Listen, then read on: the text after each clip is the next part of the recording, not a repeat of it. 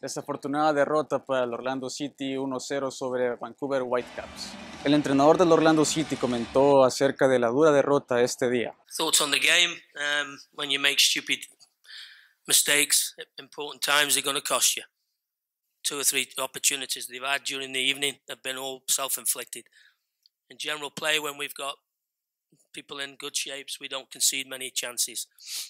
And we can't keep doing it. We've done it. We got away with it a couple of times before tonight, and tonight make silly mistakes and they come back and haunt you. Um, do I think we should have won the game? Probably not. I think a draw would have been a fair result for the chances they had first off, but we certainly didn't deserve to lose it. But as I say, make schoolboy errors. That's what happens. El equipo de los Leones tuvo una posesión del 60% en todo el juego.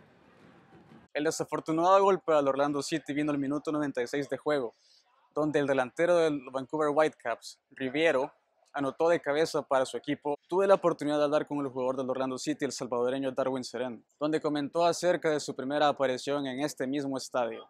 Contento, ¿no? Porque eh, se siente el calor de la gente, de nuestra afición, pero a la vez un poco triste por la derrota y en parte porque fue parte de mi responsabilidad.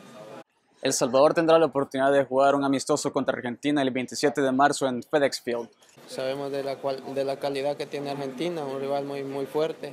Eh, viene bien para nosotros porque eh, de esos rivales es donde más podemos aprender. Darwin Seren será parte de la convocatoria de El Salvador en la dura tarea que se les avecina en la Copa de Oro. Va a ser una copa muy difícil, sobre todo por el grupo que tenemos, es un grupo muy, muy complicado, pero creo que sí tenemos un proceso y, y una buena eh, preparación, con un poco de tiempo, creo que podemos construir un equipo que sea muy sólido.